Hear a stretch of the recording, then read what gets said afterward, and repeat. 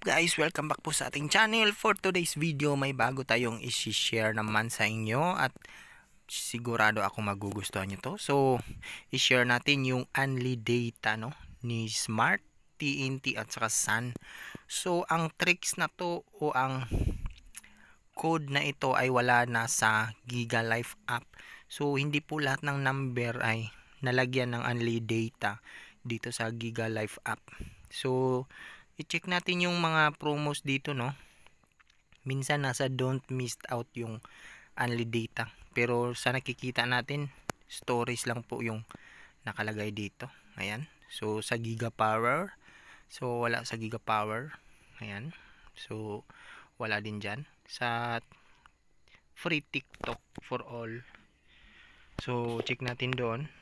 Ayan. So sa only giga double giga wala din dito nakalagay yung only data natin. Ayan. So wala. So chinik na po natin no?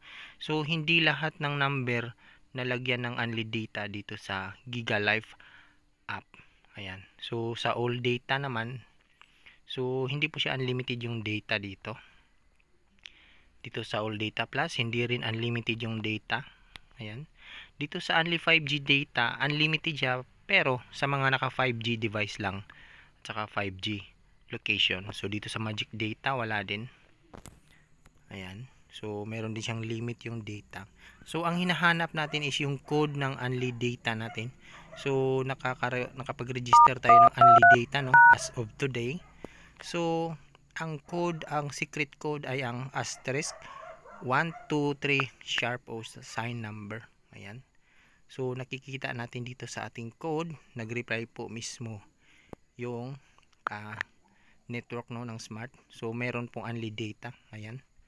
So nandyan po nakalagay yung only data ni smart sa asterisk 123 sign number. So doon ko po nakuha yung only data 299 so isagad nyo na lang po sa 299 kasi 30 days yan guys. So hindi na kayo uh, magsisisi dyan dahil unlimited for all sites yan. So ang gamit natin ay ang iPhone Ayan. So, dito naman sa ating Android, check naman natin na kung meron. So, kanina ang chinek natin ay Sun number. So, Sun po yon So, dito naman sa Android, ang gagamitin natin ay ang uh, smart o kaya token text na uh, SIM card o kaya number. So, check natin no, sa ating Android. Ayan. So, no active tayo ng promo. So, kadalasan nakalagay si only data sa don't missed out. So, as per checking natin is wala pong only data, no? Ang nakalagay lang ay unlimited stories lang. Yun, saka sa videos. So, dito sa free TikTok for all, wala din nakalagay yung only data. Ayan. So, only data meaning for all sites na po yun. So, lahat ng apps, lahat ng website, So, lahat ng games, so pwede nating i-open at pwede tayong makapaglaro.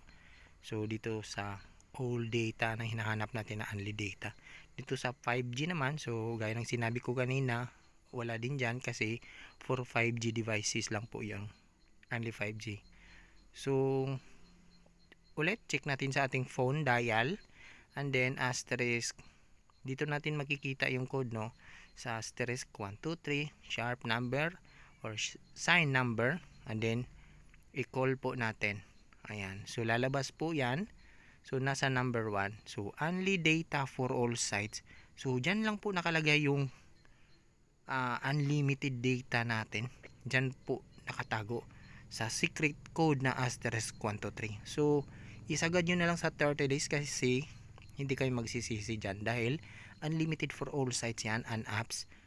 So ayan hindi na kayo lugi dyan sa 30 days 299 so yun lang po guys. So hanggang dito lang tayo. So sana uh, nat natulungan ko kayo sa ating bagong share ngayon ng ating video